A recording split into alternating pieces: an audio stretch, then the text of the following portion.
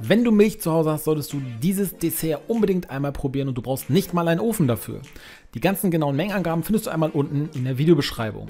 Im ersten Schritt nehmen wir uns einmal einen Topf, geben hier die Butter hinein, lassen diese dann einmal schmelzen bei mittlerer Hitze, bis die komplette Butter eben hier einmal zerlassen ist und dann kommt das Mehl hier noch mit dazu. Das Ganze rühren wir dann einmal ein bis du hier eben kein weißes Mehl mehr siehst, sondern es komplett mit der Butter verrührt wurde. Und im nächsten Schritt geben wir dann noch die Milch mit dazu. Jetzt wird das Ganze einmal ordentlich umgerührt. Und sollte eben so einmal zum Kochen gebracht werden. Außerdem geben wir noch die Packung Vanillezucker mit hinein.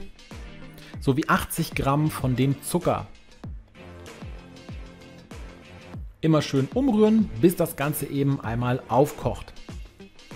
Wenn es dann aufkocht, dann sollte es etwas dicker werden, wie du hier sehen kannst. Und dann kannst du das Ganze auch schon in eine Auflaufform geben. Ich habe jetzt hier eine 24 x 24 cm große Form. Dort kippe ich den gesamten Inhalt einmal rein und stelle das Ganze danach in den Kühlschrank. Denn jetzt kümmern wir uns um die obere Karamellschicht. Dafür nimmst du dann 90 Gramm Zucker, verteilst dieses einfach so in deiner Pfanne, also ohne irgendwie Fett oder Butter noch mit reinzumachen, machst die Pfanne einmal auf mittlere Stufe und dann kannst du in eine weitere Schale schon mal Wasser geben. Hier haben wir einmal 200 Milliliter und verreiben bzw. verrühren dort drin einmal die Maisstärke, bis diese sich dann komplett aufgelöst hat.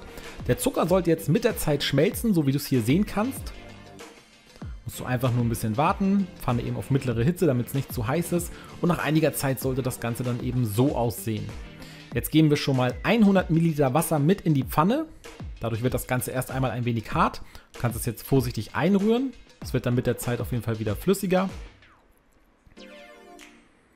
Wenn das Ganze dann schon mal kurz eingerührt ist, dann holen wir hier wieder die 200 Milliliter Wasser mit der Maisstärke raus. Nochmal gucken, dass keine Klumpen drin sind und das kommt dann auch noch mit hinein und wird einmal eingerührt und sollte jetzt noch einmal schön aufkochen.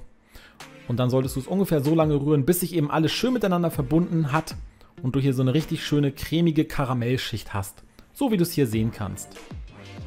Dann ist das Ganze auch erledigt und jetzt kannst du einmal die Auflaufform wieder aus dem Kühlschrank holen und dieses Ganze noch einmal mit oben drauf kippen, auch überall gut verteilen, sodass wir wirklich überall etwas davon haben.